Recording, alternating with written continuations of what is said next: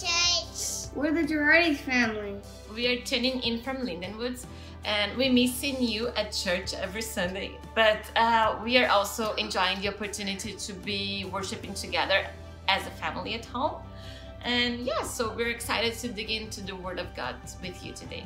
Let's learn how to be Set apart together. Good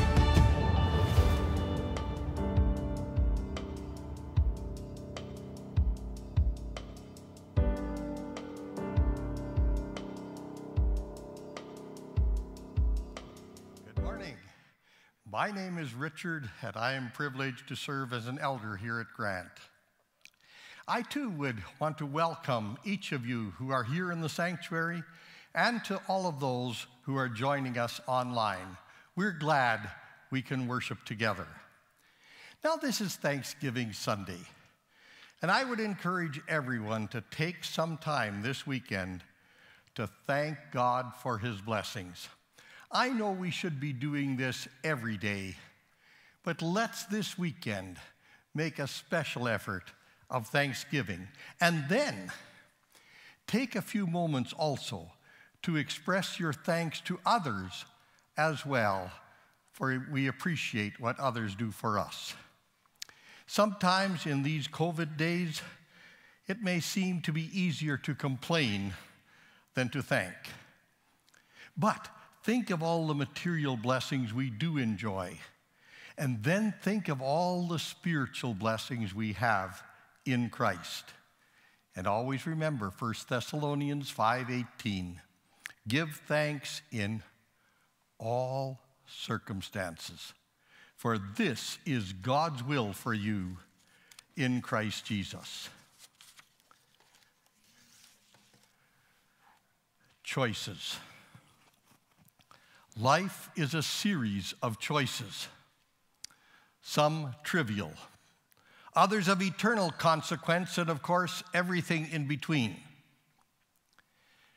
When our family will sit down for a holiday meal, at the end of the main course, my wife will usually stand up and say this Now, I have three kinds of pie for dessert apple, Saskatoon, and pumpkin. And she will go around and choices will be made, and some of the family will simply say, Yes, please. And of course, each of those will then be served three slivers of pie, though they hope they will not be too slivery, if there is such a word. They're looking for a little something more substantial. And another choice regarding choice, or a statement regarding choices, Yogi Berra stated in his philosophical way when you come to a fork in the road, take it. Now, that was something for you to think about, but that's a typical Yogi Berra statement. Choices. How will we respond to the choices given to us in the Bible lesson before us today? And I invite you to turn in your Bibles to 1 John as we continue the series that we have begun a few weeks ago. 1 John is near the end of the Bible. The Revelation is the last book, and then there's Jude, 3rd John, 2nd John, 1st John. So, right near the end of the Bible. In chapter 2 and verse 7, follow as I read. Dear friends, I am not writing you a new command, but an old one, which you have had since the beginning. This old command is the message you have heard. Yet I am writing you a new command. Its truth is seen in him and in you, because the darkness is passing and the true light is already shining. Anyone who claims to be in the light but hates a brother or sister is still in the darkness. Anyone who loves their brother and sister lives in the light, and there is nothing in them to make them stumble. But anyone who hates a brother or sister is in the darkness and walks around in the darkness. They do not know where they are going because the darkness has blinded them. I am writing to you, dear children, because your sins have been forgiven on account of his name. I am writing to you, fathers, because you know him who is from the beginning. I am writing to you, young men, because you have overcome the evil one. I write to you, dear children, because you know the Father. I write to you, fathers, because you know him who is from the beginning. I write to you, young men, because you are strong, and the word of God lives in you, and you have overcome the evil one. Do not love the world or anything in the world. For anyone, if anyone loves the world, love for the Father is not in them. For everything in the world, the lust of the, eye, of the flesh, the lust of the eyes, and the pride of life comes not from the Father, but from the world. The world and its desires pass away, but whoever does the will of God lives forever. Heavenly Father, this is your word. You have given it to us for our instruction, our challenge, our rebuke, our learning. Apply your truth to us. Help us to understand and then obey. In Jesus' name, amen. Now, the opening verses of our text speak of an old and a new command. Note that these verses are directed to dear friends, or maybe more accurately, brothers. John is addressing Christians his fellow followers of Jesus. Now, what is this command that he speaks of? The context would quickly direct us to the words of Jesus in John 13 34. A new command I give you love one another. As I have loved you, so you must love one another. In what sense, then, is loving one another, as our text speaks of, a commandment? Looking at the Greek helps to answer this question. The Greeks had two different words for new. The first one means new in time. The second one means uh, new in quality. For example, you would use the first new to describe a recent model of a car or a supposedly new hit on the recording chart of the, of the music industry. But if you heard a kind of music or song that was so revolutionary that it was radically different, you would use the second word, new in quality or character. And the DJ playing that song would introduce the artist as having a new sound. Now, the commandment to love one another is not new in time, but is surely new in character. Because of Jesus Christ, the old commandment to love one another has taken on new meaning. It was new music to the ears of those who had been in bondage to the law or someone's philosophy of life. It was new in quality and character of love. Now, in the Old Testament, there was a similar command in Leviticus 19:18. Uh, Love your neighbor as yourself. I am the Lord. And as in all parts of the Old Testament, the, uh, there was a penalty for disobedience.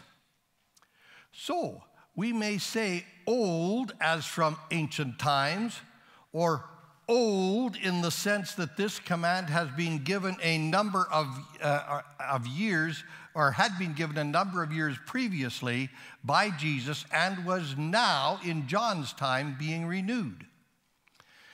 Love for God and love for others motivates a person to obey God's commandments without even thinking about them. As one commentator said, when a person acts out of Christian love, he obeys God and serves others, not because of fear, not because of, of the law, but because of love. That is why John says, Love one another is a new commandment. It is new in emphasis. It is not simply one of the Old Testament commandments no, it now stands at the top of the list. And obedience to this command was not only a matter of old and new, as our text said, it was also evidence of walking in the light or walking in darkness. The Christian who loves his fellow believers is living or walking in the light. He who hates his brother is walking or living in darkness. So, this is serious stuff. Take, for example, as we add to this, 1 John 3, verse 14. We know that we have passed from death to life because we love our brothers. Anyone who does not love remains in death. Wow. Loving one another is an indication of our spiritual status. Now, the true mark of a believer is that you love your fellow believers. John 13 35, and we all know this verse. By this, all men will know that you are my disciples if you love one another. John, in essence, is saying that you can tell those who are in fellowship with God, they walk in the light and they love. He also is letting us know that you can tell those who are not in fellowship with God, they walk in darkness and hatred. Now, the word love used here is agapao, or as we usually say it, agape. What does that mean? Well, the word, uh, the word be, is a, a word that has a sense of selflessness. It is a love that is self sacrificing. It is a love that is supremely interested in the, in the uh, one loved and for the benefit of the one loved. It is the kind of love that God demonstrated when He gave His Son Jesus Christ to die for the sins of the world. You know John 3:16. God so loved. There's that word, the same word that is used in our text for loving one another. God so loved the world that He gave His one and only Son. It was a, an act of love by the Father that He sent the Son to be our Savior. Now, the world also recognizes that love is a good thing. Consider the pop song by Hal David with music by Burt Bacharach written in 1965. Now, don't worry, I'm not going to sing it, I'll just quote it. What the world needs now is love, sweet love. It's the only thing that there's just too little of. What the world needs now is love, sweet love. No, not just for some, but for everyone. Now, if the world recognizes the need for love, how much more should the followers of Jesus Christ practice Christian love? Now, sometimes some of us have trouble loving our fellow believers. Now, if all our fellow believers were as lovable as we are, if they all thought as we do, if they all agreed with us, well, there wouldn't be any problem. Well, sure, I could love that bunch. And some, at least in our opinion, are just plain ornery and difficult.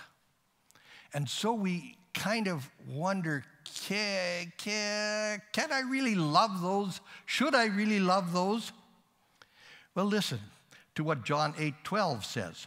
When Jesus spoke again into the people, he said, I am the light of the world. Whoever follows me will never walk in darkness, but will have the light of life. And remember, those who are walking in the light are loving. So if we are having problems loving, maybe we need to take a careful look at our relationship with the Lord. Are we really in love with Jesus? The more we love God, the easier it will be to love our fellow believers. Selfishness is too often in the forefront, and then love is a challenge because you see, selfishness is the opposite of love. Failure to love our brothers hinders our spiritual growth, our spiritual progress. A blind man, a person who is walking in darkness, can never find his way, says our text. The only atmosphere that is conducive to spiritual growth is the atmosphere of spiritual light. It's the atmosphere of love.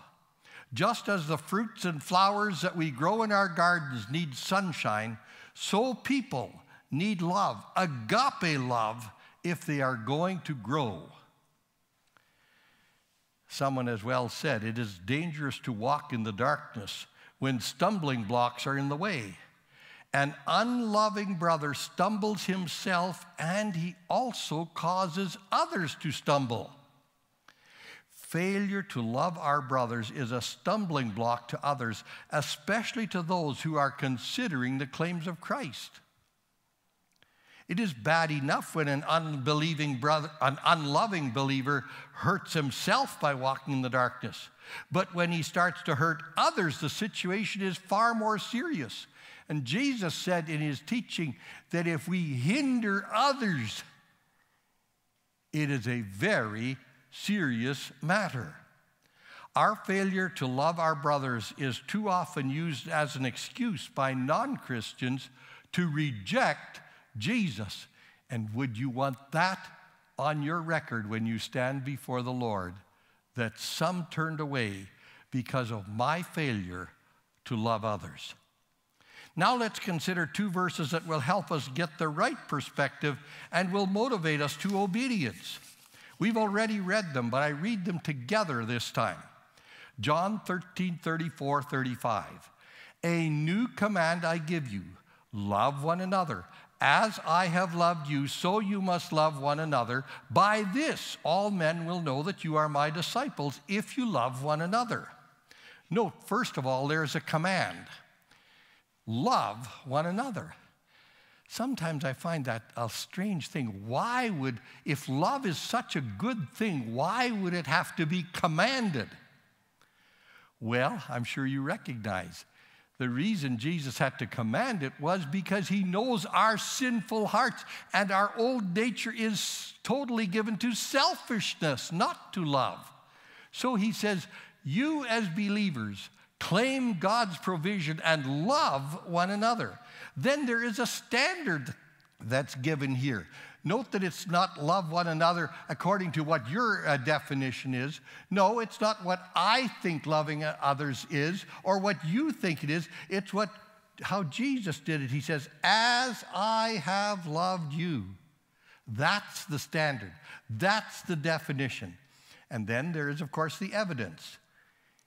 When we love one another, others will recognize that we are disciples, that we are followers of Jesus Christ. Now, Jesus' love to us gives us the model for how we are to love one another. We just noted that. The love Jesus has for us is not defined by rules or regulations. His love is defined by a relationship. Jesus came into relationship with me. The new commandment to love others is that our love is also defined by a relationship. I cannot properly fulfill that command given to us here until I know Jesus. So, first of all, I need to have received Jesus as my Lord and Savior, that He has forgiven my sins and made me His child. And then I need to grow in relationship with Him so that I may love others by His grace. So there's a choice obey and walk in the light or disobey and walk in darkness. And each has consequences. Now, often when we use that word consequences, we think only negatively, but that's a wrong use of the word. The word may have good consequences for good choices and bad consequences for bad choices. So, one or the other is a choice. But we move along. After commanding, or commending rather, his readers in verses 12 to 14, John introduces another contrast in verses 15 to 17. It is one or the other love for the world or love for God. Now, the temptation is often to try and straddle the fence. Satan tries to make it seem possible to have one foot in the world and one foot on the Lord's side. He works hard on, on accomplishing that. Satan tells us that this is possible and even desirable.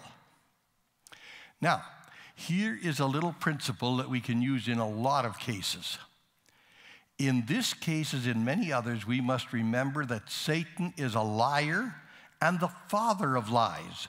John 8 44. You belong to your father, the devil, and you want to carry out your father's desire. He was a murderer from the beginning, not holding to the truth, for there is no truth in him. When he lies, he speaks his native language, for he is a liar and the father of lies. So when Satan tells you, oh, you can kind of straddle the fence, one foot on one side, one on the other, and, and you can, you know, don't get overdone on one way or the other and this kind of thing. He's a liar. Whenever Satan speaks to you, whether he speaks to you in your heart or whether he speaks to you through others or what have you, Satan is a liar, and we need to respond accordingly. James, uh, the apostle, says it in another way. He says, You adulterous people. Well, that's strong language. Don't you know that friendship with the world is hatred towards God? Anyone who chooses to be a friend of the world becomes the enemy of God. So it's one or the other. You don't straddle, you cannot straddle the fence. Now, the world spoken of here is the cosmos, that's the word. The world system, the world without God, the world of time. And the grammatical construction reads stop loving the world.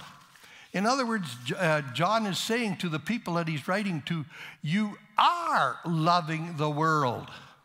Now stop it, is what he is saying.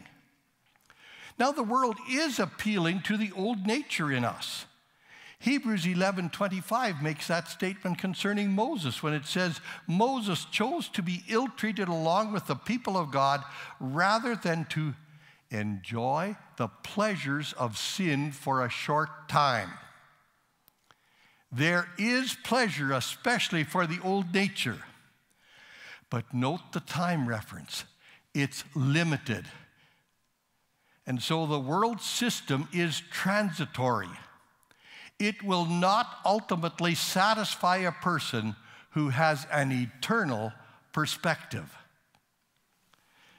John makes it even more specific, starting in verse 16, when he speaks of the cravings of sinful man, or as we often refer to it, the lust of the flesh. In 1 Peter 4 3 and 5, Peter gives us a sense of the lust of the flesh when he says, For you have spent enough time in the past doing what pagans chose to do, living in debauchery, lust, drunkenness, orgies, carousing, and detestable idolatry. They think it strange that you do not plunge with them into the same flood of dissipation, and they heap abuse on you. But they will have to give account to him who is ready to judge the living and the dead. Lust of the flesh seeks to find fulfillment and purpose in that which can never give real and lasting fulfillment and purpose.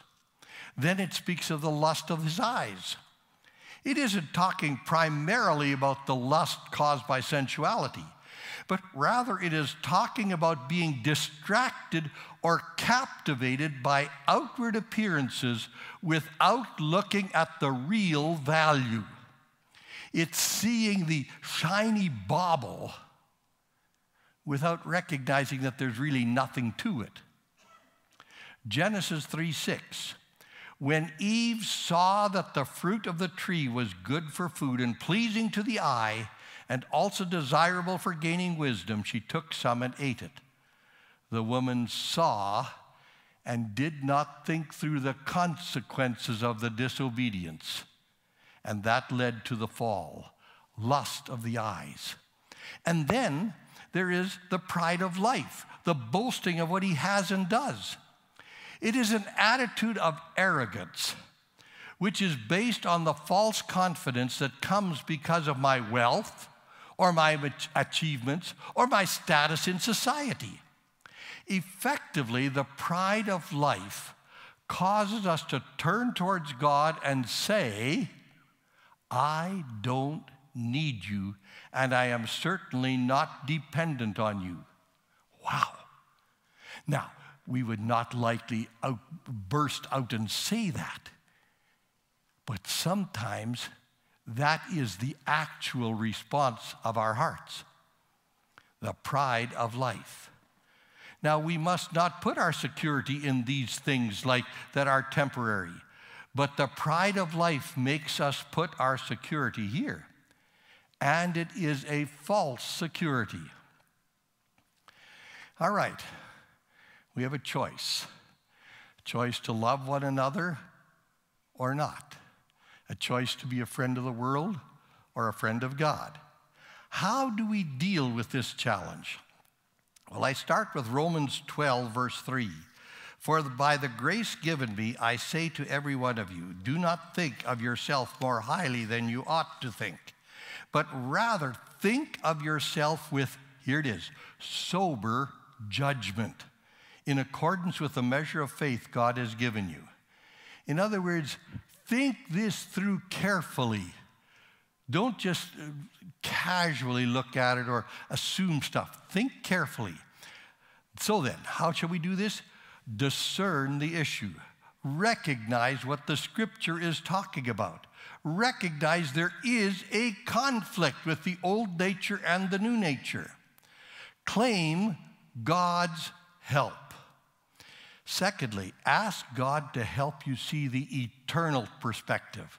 It is so easy to see only things for the moment, things of time, instead of recognizing the things of eternity. Thirdly, pursue spiritual disciplines that will draw you closer to God. For instance, Bible study and prayer and fellowship with other believers. And often at this point, I find a Christian saying, Ah, come on, haven't you got something new? I, I, I'm used to all this old stuff. No, this old stuff is what produces results. Study of the Word, spending time in prayer, interacting with our fellow believers.